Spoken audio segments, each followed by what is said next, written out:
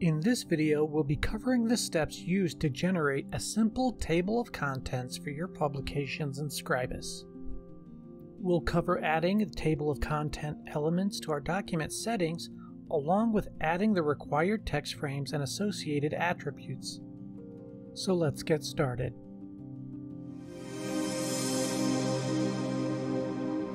Welcome to class. We'll start by creating a document with a few pages to work with.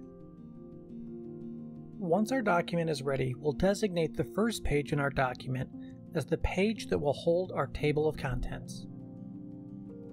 To do this, we'll add a text frame to the page and make sure it fills all of the page between the margins. We can do this by pressing T on the keyboard, followed by holding the Shift key down and clicking on the page inside the page margins. This will cause the text frame to automatically scale to the full size of the margins, or full size of the page if you're not using margins. Then, if we don't have the Properties control panel open already, we'll go ahead and open it by pressing F2 on the keyboard or by selecting Windows and then Properties from the standard menu. With the text frame we just added selected, in the Properties Control panel we'll navigate to the XYZ section and rename this frame to Table of Contents. Now this will give us a container to place all of our table of content information. Next, we will need to modify the current document setup a little to add indicators and map styles to our table of contents so that when we mark elements in our document, Scribus can identify them. So now we'll open the Document Setup control panel. We can do this from the standard menu by selecting File and then Document Setup. In the left panel, we'll select Document Item Attributes, and then select Add in the bottom right of the control panel to add an attribute. This attribute will be used to mark text frames that will be referenced in the table of contents.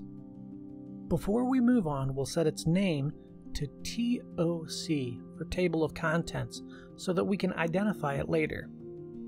Now back to the left panel, we'll select Table of Contents. When the right panel loads, we should see a series of new settings we can adjust. If you're creating the table of contents for the first time, you may need to delete the existing table of content item and select the Add button to create a new one. From this panel, we'll be focusing on the Properties section for now. Using each of the drop-down lists, we'll set the item attribute name to the name of the attribute we just added. We'll set the destination frame to the name of the text frame we want our table of contents to reside in. For now, we can leave the page number placement set to end and the paragraph style to none, as we haven't set up any styles for our table of contents just yet. And we'll leave the List Non-Printing Entries checkbox unchecked, and then select OK. So now we have a container to hold our table of contents and we've adjusted our document setup so that Scribus can recognize items we mark as needing to be referenced. Now we just need to go to each page and add a frame and apply the previously created attribute. So let's walk through that now.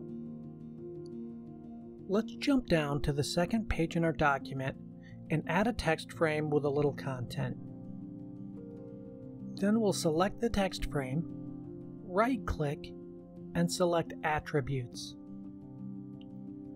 From this window, we will select the Add button in the bottom left corner, and when the new attribute appears, we'll use the drop down to select the name of the Table of Contents attribute.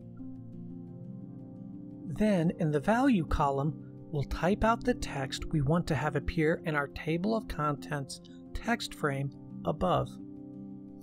So, for instance, if you want the table of contents to read Chapter 1 or Section 2, you would do that here. in the value column.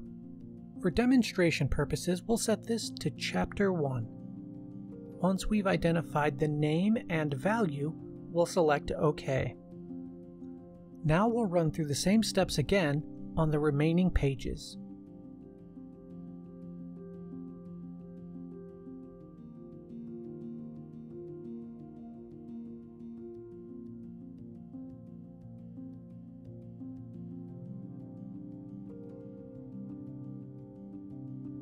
Now that we have all of our pages set up and have applied our table of contents attribute to the appropriate frames on our pages, we can tell Scribus to generate our table of contents.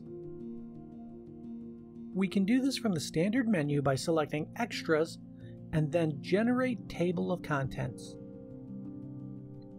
If we set everything up correctly, we should now be able to see that our table of contents has been populated with text. A few things to keep in mind when generating a table of contents is that it's just a text frame. So if you wanted, you could just open the Content Properties control panel and add styles, or edit the text frame directly or from within the story editor if you prefer. However, because the table of content is generated, if you regenerate the table of contents, all of your styles will be lost. Therefore, it's an extremely good practice to create a custom style for the table of content and set it from the table of contents section of the document setup control panel. This way, all of your styling is located in one place and is retained regardless of the number of times you attempt to regenerate the table. In this video, we discussed the steps needed to generate a table of contents in Scribus. If this video helped you or you would like to have us cover a specific topic in Scribus, let us know in the comments section. See you in the next one.